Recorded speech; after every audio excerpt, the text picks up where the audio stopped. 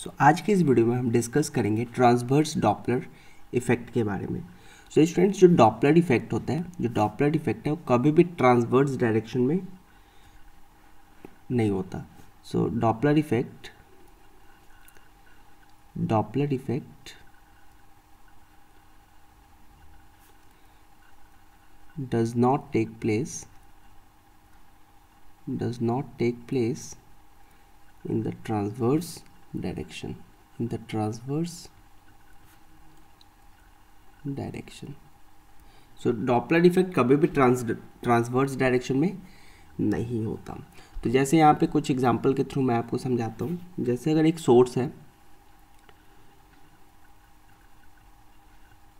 और एक ऑब्जर्वर है and source is moving by making an angle theta with the horizontal ये point डेट कर लेता हूँ पी है। तो पी के तरफ़ मूव कर रहा है with speed V S by making an angle theta so इसको हम दो कंपोनेंट में डिवाइड कर सकते हैं। एक कंपोनेंट आएगा वी एस कॉस थीटा और दूसरा आएगा V S sine theta so V S cos theta और वी एस साइन थीटा में हम इसको इस तरह से डिवाइड कर सकते हैं। सो so, ये जो वी एस साइन थीटा है इसका डॉपलर इफ़ेक्ट प्रोड्यूस करने में कोई रोल नहीं होगा। ठीक है? So V S cos theta source का जो स्पीड का कंपोनेंट है वी एस कॉस्टेटा सिर्फ़ that will be responsible for producing the Doppler effect clear so यहाँ पे जो फॉर्मूला यूज़ करेंगे, वो क्या होगा? F dash is equals to V since observer is at rest zero हो गया। और since source is moving towards the observer यहाँ पे होगा अपर साइन और अपर साइन में आता है माइनस डिनोमिनेटर के लिए। So minus and speed is V S cos theta into real frequency clear है स्टूडेंट बिल्कुल क्लियर है। सिमिलरली अगर सोर्स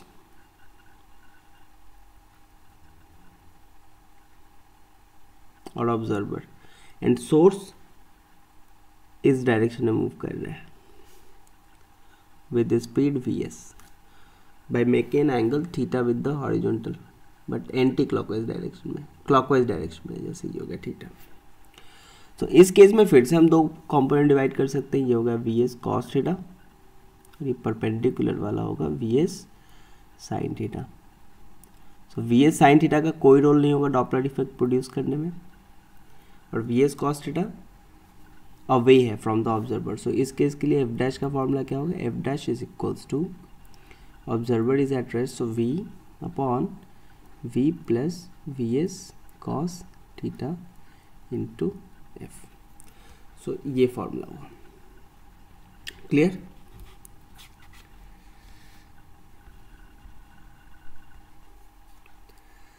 सो so, स्टूडेंट्स जो डॉपलर इफ़ेक्ट है वो ट्रांसवर्स डायरेक्शन में नहीं होता। इस पॉइंट को हम नोट कर लेते हैं। इसका मतलब ये है अगर यहाँ पे थीटा 90 होता इसका मतलब है यहाँ पे अगर थीटा 90 होता।